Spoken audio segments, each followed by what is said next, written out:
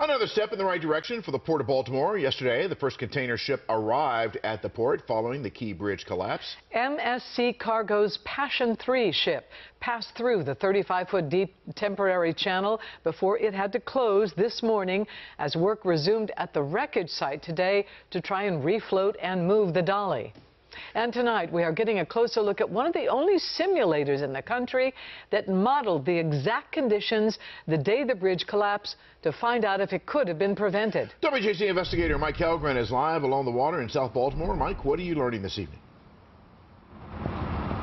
Vic, Denise, they ran a number of different scenarios and found without power there was very little the crew could do but warn those in the path of the ship. Now tonight, the NTSB is just days away from releasing its initial findings. The 35-foot deep emergency channel, the deepest so far allowing access around the Key Bridge disaster site, has closed until May 10th while responders refloat the Dali. The ship is one of the biggest obstacles to fully reopening access to the port.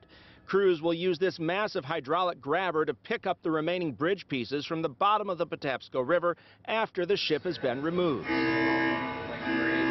WJZ got a rare look at a simulator at California State University's Maritime Academy, one of only three in the United States, where researchers input the exact conditions at the time of the Key Bridge collapse.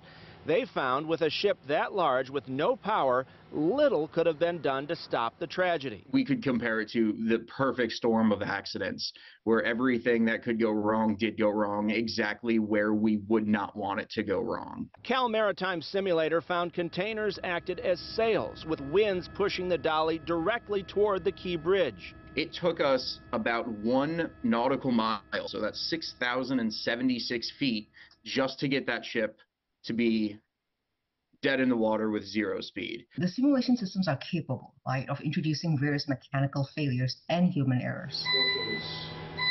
The simulator also found one of the few scenarios that could have prevented the disaster is two tugboats at full power pulling the Dali away from the bridge, something that would not have been common practice. It would have taken uh, two very powerful tugs to be able to slow that ship down. The FBI has opened a criminal investigation, and the Associated Press previously reported there were possible electrical problems before the Dali left port.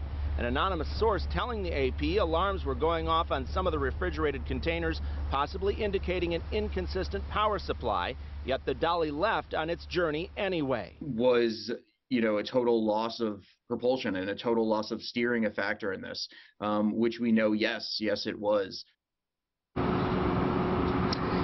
Now, the NTSB is focused on the ship's electrical system. They're also looking at the possibility of dirty fuel. The Unified Command tells us that they're still on track to open the main channel where the Dali sits right now by the end of next month. Live in South Baltimore, Mike Hellgren, WJZ.